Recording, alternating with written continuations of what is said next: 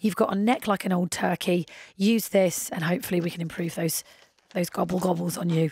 It's Kate Lawler on Virgin Radio. All right, question. I think this is more of a mum than a dad thing, but we're going to find out. Are either of your parents a bit passive aggressive? Like my mum will often say to my face or drop me a WhatsApp message that leaves me just thinking, why didn't you just say what you really mean, mum? For example, today's WhatsApp this morning says this Morning, just thinking. So I should point out before I start this, I'm going on holiday with my mum tomorrow and my dad. It's a big family holiday. We're all going away together.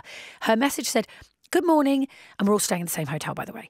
Just thinking of your buggy. Remember, no muddy wheels. We're at a five star hotel. Good old clean of the seat and wheels. Someone on Insta gave theirs a jet wash the other day. Kiss. What she meant was, I've seen the state of Noah's buggy. Jet wash it before tomorrow, as I don't want to be stood next to wheels that look like they've just been through tough mudder. That's what she meant to say. So, this afternoon, I'd like to hear from you. You tell me what your mum or dad have said to you that's rude, and I will tell you what they well, in a, in a kind of like roundabout way where they're kind of beating around the bush. And then I will tell you what they really meant. Uh, hello to Joanne. She says, My dad said to me once that I was built for comfort, not speed. What he really means, Joanne, is you're overweight and unfit. That's what he meant. That's let's be honest here.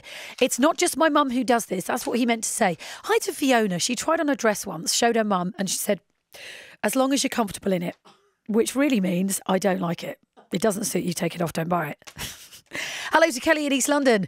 She says, My mum, upon meeting my new boyfriend once, said, Oh, by the way, she's a bit like Bridget Jones, which probably means Kelly has been single forever and she picks terrible men. She can't keep one down. Hello to Carmen. Carmen's mum once turned up to our house with some neck cream saying, Here, use this. What she meant to say was, You've got a neck like an old turkey. Use this, and hopefully we can improve those those gobble gobbles on you. And this one's from Anonymous. She says, I came home from my honeymoon, went to my parents. My mum looked me up and down and said, Oh, someone's had a good time. Which probably means, oh, someone's eating everything from the all you can eat buffet.